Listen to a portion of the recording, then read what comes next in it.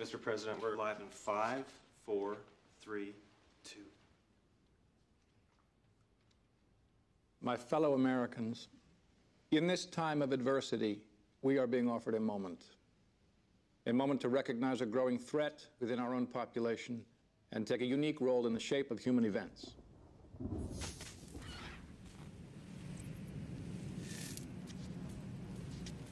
we just lose the feed? Are we still live?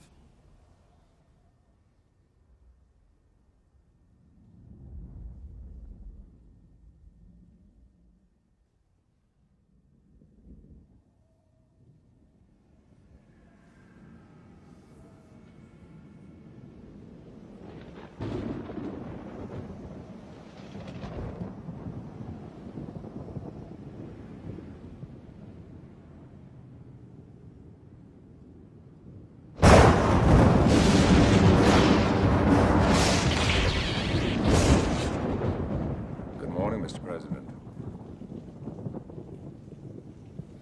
Please don't be alarmed. We're not going to harm anyone. Who are you people?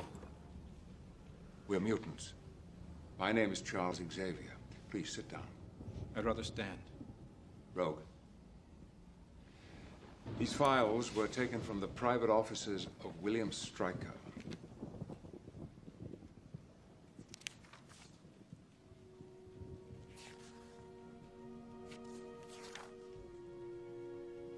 How did you get this? Well, let's just say I know a little girl who can walk through walls.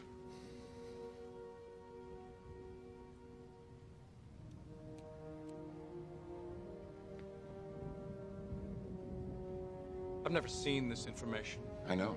Then you also know I don't respond well to threats. Mr. President, this is not a threat. This is an opportunity. There are forces in this world, both mutant and human alike, who believe that a war is coming. You will see from those files that some have already tried to start one. And there have been casualties. Losses on both sides.